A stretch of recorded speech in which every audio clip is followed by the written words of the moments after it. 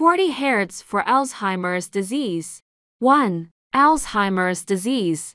Alzheimer's disease, AD, is the most common cause of dementia, a general term for memory loss and other cognitive abilities serious enough to interfere with daily life.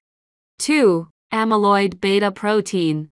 Amyloid beta protein is believed to cause Alzheimer's disease. Recent study found that amyloid beta protein is not the cause. It is the results of Alzheimer's disease.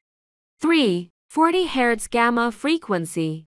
Dr. Li-Huei Tsai of MIT found that 40 Hz gamma light and sound stimulation can lower the amyloid beta protein.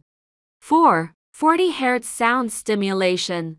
Professor Lee Bartel of the University of Toronto, Canada found that 40 Hz binaural beats can help Alzheimer's disease patients recover.